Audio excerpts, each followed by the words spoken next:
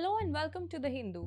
I'm Priyali Prakash, and you're watching Tipping Point, a weekly show where we dive into climate change events and the trends shaping our future. In this week's episode, we look at the highlights of the 2024 State of Climate Report, Nepal and Bihar floods, and an initiative that hopes to safeguard mangroves in the Sundarbans. Earlier this month, a group of researchers from the United States, Germany, England, Australia, China, Denmark, Brazil, and Switzerland released the 2024 State of Climate Report, which we should pay attention to.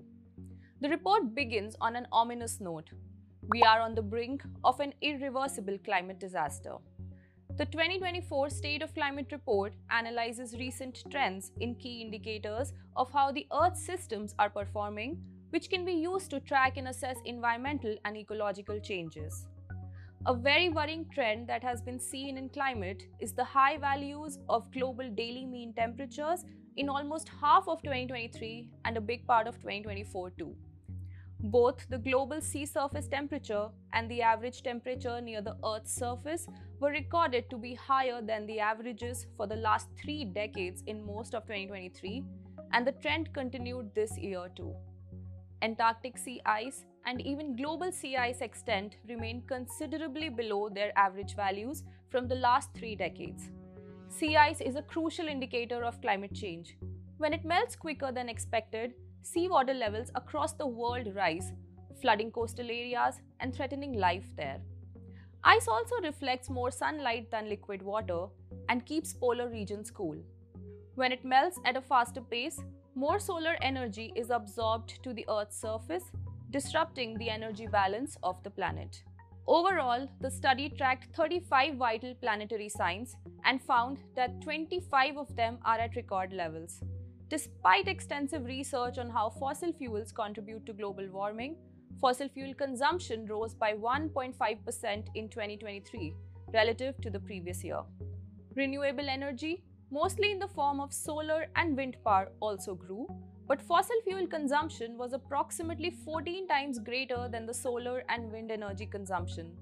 Annual energy related emissions increased 2.1% in 2023, and China, the United States, and India were the top three emitters.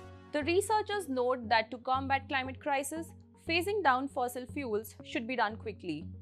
Including climate change into education curriculum will also help raise awareness, improve climate literacy, and inspire action. We absolutely cannot continue business as usual if we want to save the earth. This week's extreme weather event of note are the floods in Nepal. Nepal was hit by deadly floods towards the end of September, which killed over 240 people, left thousands displaced, and many missing. A new study by World Weather Attribution found that climate change caused by human activities made this extreme weather event around 10% worse. The three day rainfall period that caused widespread destruction and loss of life in Nepal broke many records, with some weather stations recording over 320 millimeters of rain on September 28th.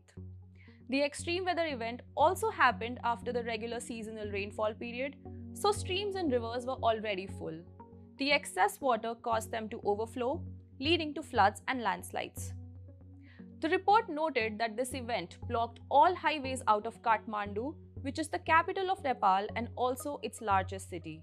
Many roads and highways across Nepal still remain partially blocked and are suffering from the effects of floods and landslides.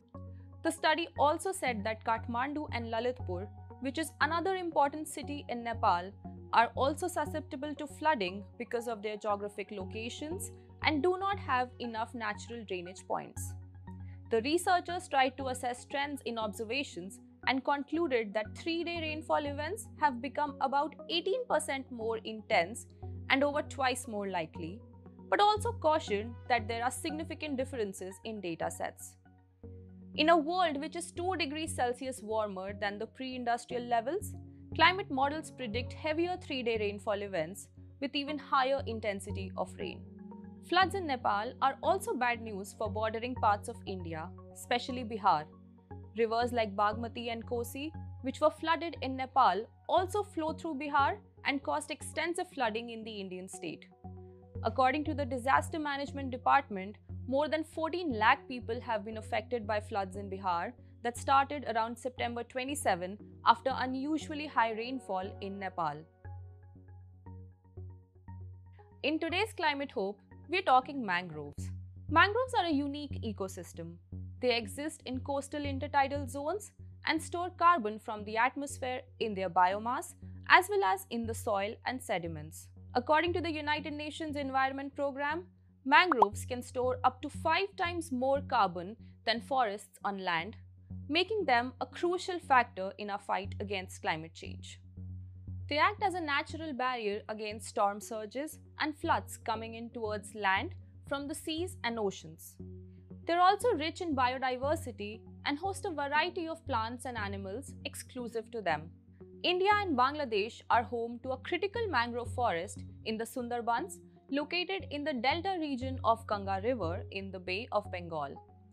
In 2024, the Sundarbans Eco Village from Bangladesh which works in the field of environmental sustainability and community development in Sundarbans in coastal regions of Bangladesh, won the Equator Prize.